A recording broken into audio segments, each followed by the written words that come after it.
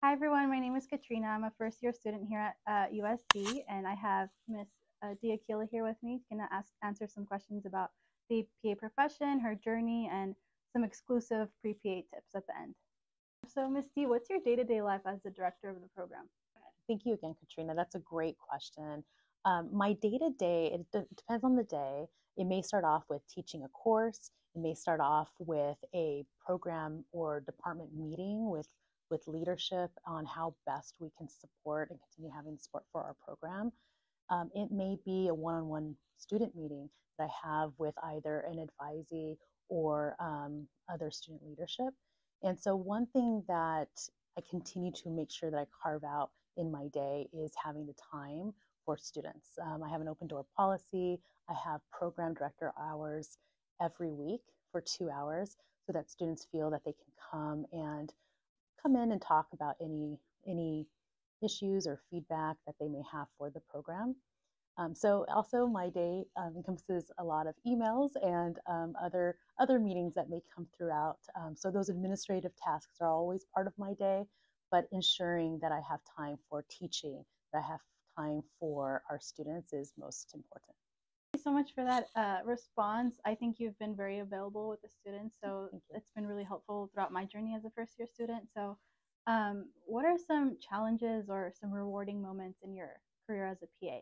I have been a PA for 22 years, and um, I have seen our profession grow so much in the time that I've been a practicing PA from having a very um, limited delegation of services agreement with a um, formulary and having to have co-signatures on every aspect of our practice to now having a practice agreement where the practice and the team can really decide how best to collaborate as part of that team with the PA. I have seen so much growth in our profession and have and continue to see where our profession is going to be going in the future.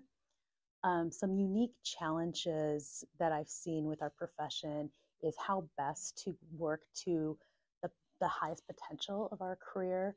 And um, you know having optimal team practice is something that's a vision of our profession on how can we continue to work collaboratively with the healthcare team to provide the best practice for our patients. But with that said how can we truly work to our fullest potential especially Katrena in areas where there is the greatest need so those areas are marginalized communities underserved communities rural areas where there may not be that access to healthcare like in other areas. So how can we as PAs provide that, you know, that key for care, really minimize that gap? And it's really having that optimal team practice so that we can work to the fullest of our potential. So those are some challenges we continue to have as a profession. Now, has our profession made some steps to get closer to optimal team practice? Absolutely. Um, but we still have some ways to go. Um, rewards has always been, in my eyes, that patient care and having the patient at the center of that care. And I have always worked as part of a um, team in a hospital setting, working pediatrics and inpatient pediatrics. It was always a multidisciplinary team that took care of that patient. So, from the physician that I worked closely with, with the nursing staff, with the pharmacist that was on staff down the hallway that I'd always ask about the medication reconciliation uh, for that patient, with the physical therapists and, and the occupational therapists that would always work, the social worker and the discharge planning that's needed to ensure that the care that you're providing for that patient in the hospital and the family would continue once they were discharged. That team approach is needed for all care of our patients. And that was the biggest reward as being part of this team as a PA. I felt like I was able to always give that extra step, like that extra care, especially with patient education when they were being discharged, ensured that the plan that we were setting out for that patient and their family would be followed and um, and was fully explained and they had the resources that they needed to make sure that they could take care of um, that patient and so that took that takes a lot of effort but i was happy to be part of that and be part of that solution so um, being a PA has been definitely rewarding and sometimes challenging, but I would never never do anything else. I look back 22 years ago when I decided to become a PA, you know, actually more than that, maybe 26 years ago when I decided that this was a career path for me. And um, I look back and I would never change, I wouldn't change a thing. Thank you so much for that response. I'm really excited to be able to work in a team and work with other professionals. And I think USC has really um, honed in on the multidisciplinary aspect of it. Um, we just learned about you know different professions and social work. So um, I like that you brought that up. Mm-hmm. I did have mm-hmm. a question. Um, so for a prospective applicant, what would you say uh, stands out, and what makes them? How do you know they're ready to be part of that process? So that's a great question, Katrena, especially thinking about those who are interested in our profession and how best to be prepared to enter our profession and enter a PA program, I always look at applications as for at least our program, you know, do does that application speak to our mission? We at our program, as you know, you know, we're a primary care program, and we from from the start of the program, it's all about our mission. From the students that we are selecting to throughout its our curriculum to our clinical placements to really looking at the entry level PA that we want to graduate from our program. It's all about our mission, really giving back to our marginalized and underserved communities. So in the application, when you're looking at a personal statement, you know, share with us what is that story that shows us, highlights to us that you understand what it means to provide primary care, what it means to really be that solution in the future of mitigating any of those healthcare gaps that exist and what does that mean to give back to our communities, our marginalized, rural, underserved communities.